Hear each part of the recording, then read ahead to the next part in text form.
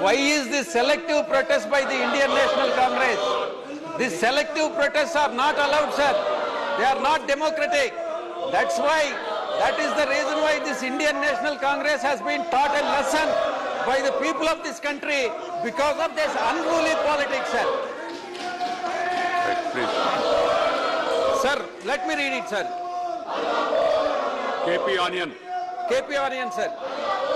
KP Onion.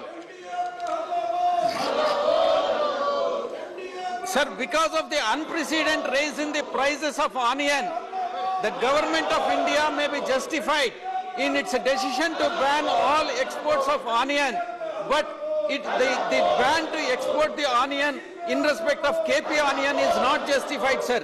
It should be noted that there exists a variety of onion called KP onion, which is grown in over 5,000 acres of land in and around YSR Kadapa district and Prakasam district of Andhra Pradesh. sir. That issue. The KP onion is not for domestic use, but it is grown exclusively for export purpose. KP onion is not used in kitchen due to its small size and pungency. These were export exclusively onion are imported by the countries like Hong Kong, Malaysia and Singapore. Unfortunately, blanket ban on export of onion issued on September 2019 covered KP onion also and thereby adversely impacting the thousands of farmers growing it as they could not even sell it in the domestic market.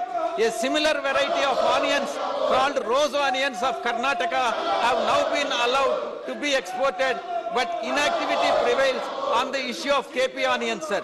In view of the above, I request the Commerce Minister Piyush goyalji to take stock of the situation and immediately lift the ban on export of KP onions as shell life of variety of uh, variety is fast running out.